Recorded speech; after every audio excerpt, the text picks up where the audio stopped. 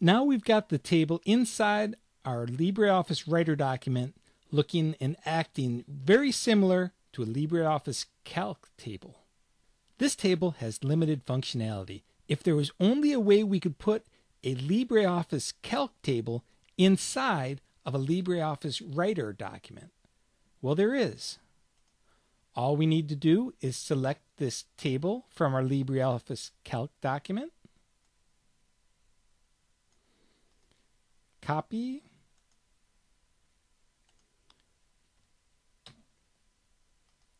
and paste. Now it's got the green boxes around the corners and the sides. If you remember what they are, that gives us the four-sided arrow. That means we can move it around or stretch it out from the top, the bottom, or the sides. Just grab that middle one and drag it out a little, and it stretches it out. Move it in, makes it a little smaller. Also with the corners.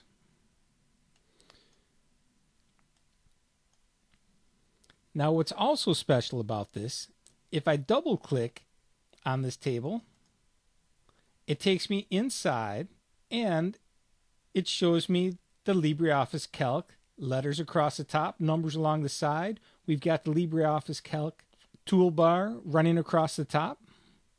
So it is essentially a LibreOffice Calc document right inside our LibreOffice Writer. Let's change some numbers and see how they work. This is 2,000 giving us 164. We're going to change this to 4,000. And now we got 166. So all the math works just like it does in LibreOffice Calc. So clicking outside of the Calc document takes me back into the Writer document with our green boxes for resizing.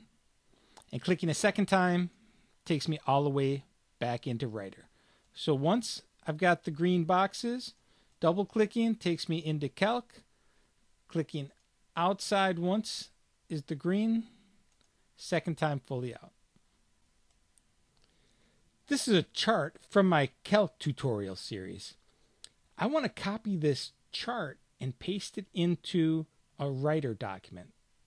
I've clicked on it to get the green boxes. I'm saying copy and there's not enough room on this page. Let's insert a page break. And paste it on this new page.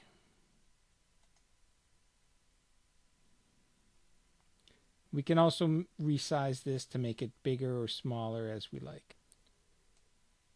Having this take up most of the page, I want to enter another page break.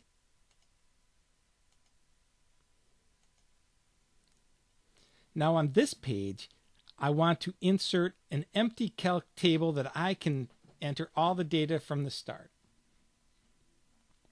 Insert, object, OLE object, and there we have spreadsheet. I can control the size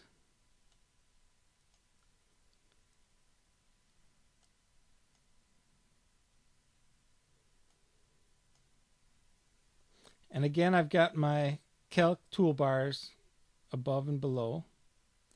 So I'll insert some data.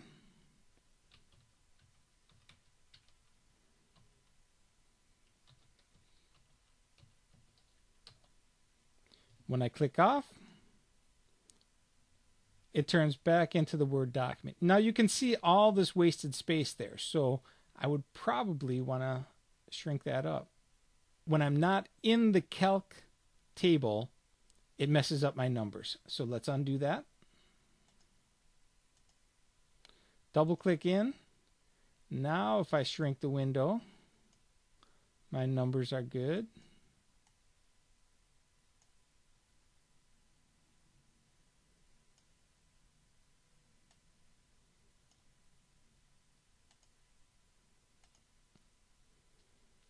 And this box is a non-printing character just to show us where the outline is. Going into page preview, we can see that the lines don't show up there.